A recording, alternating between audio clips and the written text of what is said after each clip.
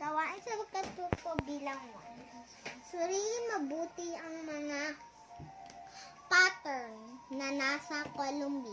Tukuyin ang hindi kabilang sa equivalent expression ng bilang na binibigay na nasa column A. Gawin ito sa iyong kwaderno. Okay.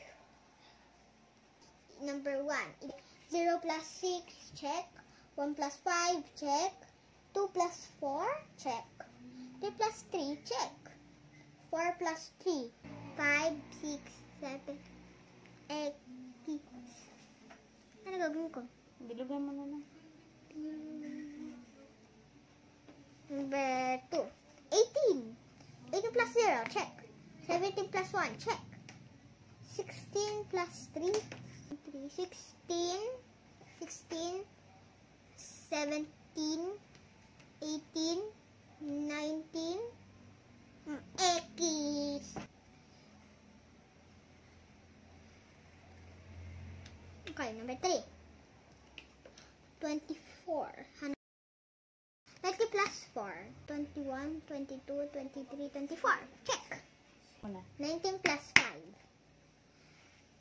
20, 21, 22, 23, 24. Tama. Okay. Nasa na ako ng tanda. Eh, 18 plus 6. Um, um, uh, check. 18 plus 7.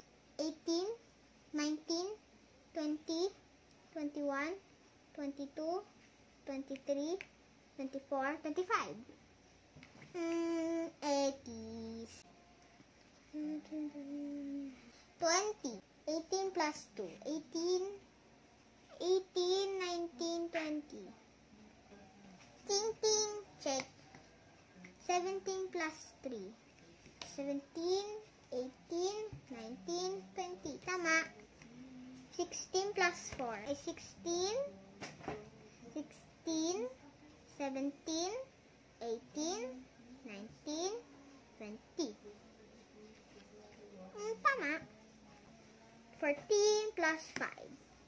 14, 15, 16, 17, 18, 19. Ek, ek. Number 5. 17. 15 plus 2. 15, 16, 17. Yes, its answer is 17. 13 plus 4. Tama.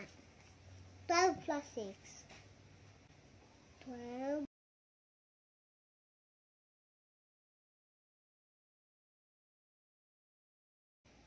X.